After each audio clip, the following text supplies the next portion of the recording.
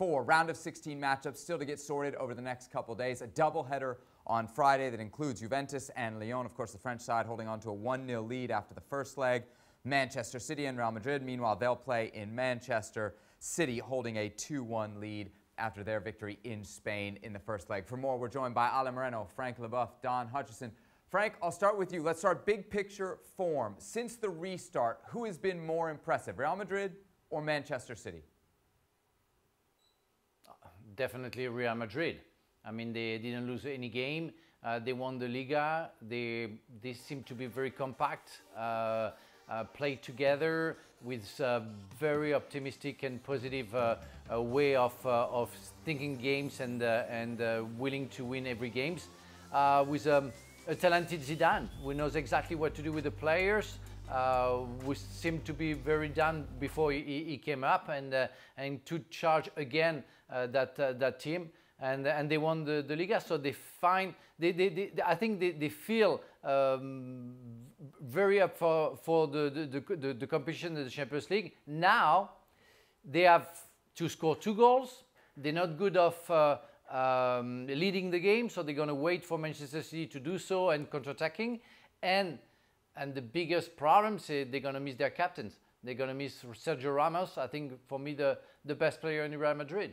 You mentioned Sergio Ramos. He of course is suspended. Ale, we had you take a stab at what you think Zidane's 11 will be against Manchester City. What's the impact of Ramos not being there, and where else are the tough decisions for the Real Madrid manager? Well, it's a huge miss when you don't have Sergio Ramos because of what he means to your team. And, and, it's not only what he means physically and what he does for you out on the field, but there is a, a sense of his leadership and his presence and what that does for a group of players that needs a whole lot of confidence in order to have an opportunity to overturn this result.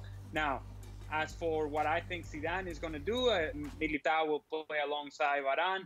Mendy will be on the left, Carvajal will be on the right, and then the interesting decision for Zidane is to uh, to make sure that he has enough balance out of the midfield and and the attacking players. So Benzema, you know, he's going to play up top. Who does he decide to go with in the midfield? Well, I'm thinking that is going to be, of course, Casemiro.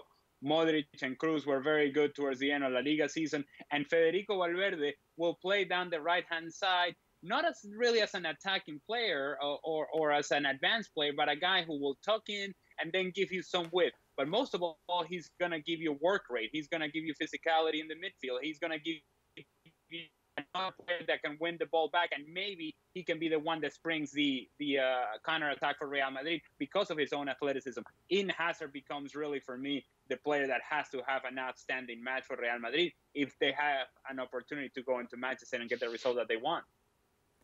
Don, we had you uh, take a crack at Manchester City's 11, no Kun Agüero for Pep Guardiola. I guess the big question is here, what will the approach be from City? We know they like to play, but they've got a lead to defend. Yeah, they have. And when you try and pick a Guardiola 11, um, it's always really difficult, not in terms of the, the quality of player that he's got, but he always springs a surprise. Um, I was looking at my potential uh, 11. I had a toss of the con between Otamendi and Fernandinho, and I went with Otamendi. Um, he's not the greatest centre half that they've got. That's why he's trying to strengthen the transfer market and maybe bring in Koulibaly alongside Nathan Ake, who they've already signed. But I went with Mendy at left back. I went with Kyle Walker. The two holder midfield players picked themselves, Rodri and Gundogan, who were both brilliant in the first leg. They were absolutely superb as a pair. Kevin De Bruyne as a 10. And then the front three, obviously Jesus this is this is a difficult one because Jesus actually played on the left hand side in the first leg and he was stopping the runs of Carvajal. So Pep actually tweaked that and he had Bernardo Silva playing as a sort of false nine. So it's difficult to try and get a read. My front three will be Raheem Sterling, um, Bernardo Silva, and Jesus in, in, as a three. In what order in terms of where they play on the pitch? Because Pep might spring spring a surprise by asking Raheem Sterling to play as a false nine. Then he's got the work rate of Jesus to try and stop one of the fullbacks. So uh, that's what I think he'll do. I, th- I, think he'll go with Jesus as a nine, Sterling on one side, and Bernardo Silva on the other, and Kevin De Bruyne as a ten. Uh, the, the, the, further back you go, I think it's it's quite easy to try and, and, and pick Pep's brain, if you like. But he's certainly going to want to score goals. He's not going to be sitting at home thinking they'll just settle on a 2 1. He will try and put a number past uh, Real Madrid if they can. Ale Rodri, the uh, midfielder for Manchester City, has said that they have a better team. Is he right? they had a better team had this game been played when it was originally supposed to be played. Let's not forget of how impressive Manchester City was against Real Madrid in that first leg, and that the 2-1 result was actually the best result that Real Madrid could have hoped for because Manchester City were far better than Real Madrid and really should have and could have won that game out for a lot longer than what they did. Uh, I really think that since the restart, what we have seen uh, for Real Madrid has been truly impressive in really recognizing who they are as a group, uh, being very comfortable with their shape as a team, being a team that, yeah, they're not as dynamic as you would want them to be. They're not as open as we all, as neutrals, would want them to be, but they are very effective, very efficient. They know themselves very well. And they're very much at peace with the fact that uh, it's a team that is going to defend first, and and it's it, it's hard to think on those terms when you think about Real Madrid, but that's indeed what they have become. And let's not forget about the player that Karim Benzema has been for Real Madrid this year. Uh, he has over the last couple of months really taken this team on his shoulders and be the real source of, of offensive productivity. That's why I said before that Eden Hazard becomes a, a key player in this matchup because you know what you're going to get from Benzema. You know what you're going to get out of the players in the midfield. You know, for the most part, what you're going to get out of the guys in the back line. Militao has a big responsibility in coming in for Sergio Ramos. But Eden Hazard, if you're going to go to Manchester and score at least two goals, he has to be at his very best. And I think we can all agree that he has not been at his very best consistently for Real Madrid. Before the restart, after the restart, before pandemic, post pandemic, they need him to be the player that they thought they were getting when they made that choice. Frank, we don't know what Pep Guardiola will do, but my question to you is what should he do? Should Manchester City play the same way they always do, or should there be a more conservative approach considering it's a team with a lead?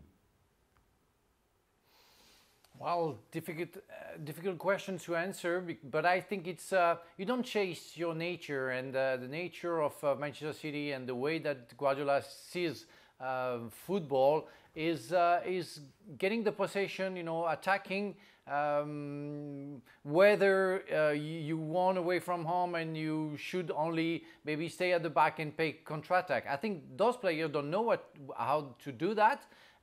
first and second, I think they're not uh, strong enough defensively to play like that. So it's better they attack. It's better. It's better uh, to to have that positive attitude going forward because if they score one goal um, or even two goals, because one goal is going to be the same. Real Madrid will have to score two, but two goals, which is more than possible for Manchester City, is going to be almost impossible for Real Madrid. So I think don't change your nature. Play like you know to how to play, and uh, and and see what's going on. Don, wouldn't that play right into Madrid's hands? No, but I, I think Sebi. I think if, if you're Guardiola, he'll, he'll never change. There's not a chance that Man City will sit back and try and defend a 2-1 lead. It's it's not going to happen. It's not in his nature. I don't think the players that he's got would particularly enjoy trying to do that. It's not in their nature neither. I can't imagine if you asked Bernardo Silva and Raheem Sterling and Kevin De Bruyne, although they would do it because they're team players, you wouldn't then get the best out of him. Like Frank said, if you're Man City and you're Guardiola, you drum home to that group of players that you get the first goal in the game, that more or less kills a tie. Frank's right. I mean, the chances of, of Man City scoring two, you'd say, are pretty good. Can then Real Madrid Madrid get then four and five? Highly unlikely. Well, thank you very much for watching ESPN on YouTube. For more sports highlights and analysis, be sure to download the ESPN app. And for live streaming, premium content, and let's not forget as well, ESPN FC seven days a week, subscribe to ESPN Plus.